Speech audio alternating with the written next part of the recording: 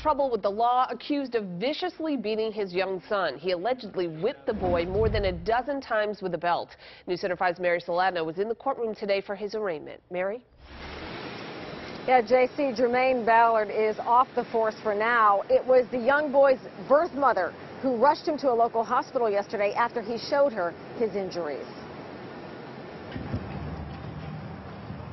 Jermaine Ballard said nothing as he posted bail and left Lynn Court, but prosecutors say this Everett police officer severely beat his own son with a belt after the 10-year-old got in trouble at school. He stated his father had him lay down on the bed, face down, and he beat him with a belt hitting him 14 times. Judge Ellen Flatley impounded the court records, including photos of the boy's bruises and welts, which prompted staffers in the emergency room at Melrose Wakefield Hospital to call police. He had deep bruising and horizontal strips across his left lower back and buttocks consistent with injuries in the last 24 hours. Prosecutors say the 10-year-old alleged victim is Ballard's son from a previous relationship.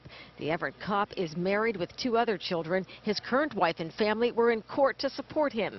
His attorney argues there is case law that allows a parent to discipline their child.